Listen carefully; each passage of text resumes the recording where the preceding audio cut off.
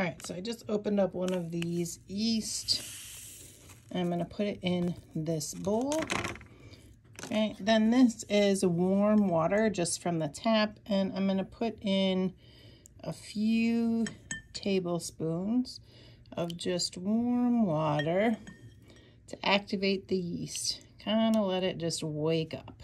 All right, so that's the first part.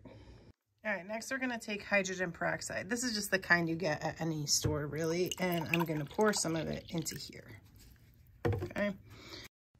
Okay, remember our lighted splint idea. We're gonna bring it close to here. Notice nothing is happening. All right, so remember we had added some warm water to wake up this yeast, okay? And I'm gonna do, I'm just stirring it up. All right, now I'm gonna add just a spoonful into this hydrogen peroxide.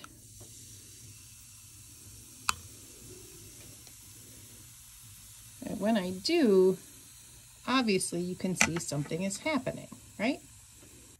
Here's our lighted splint. I'm going to bring it close here Look at that. Something is making it brighter. Let's bring it over here to the baking soda and vinegar and quickly... What is happening?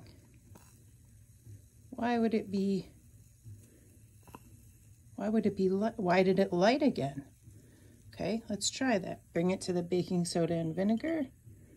Bring it back over here to the hydrogen peroxide with our yeast.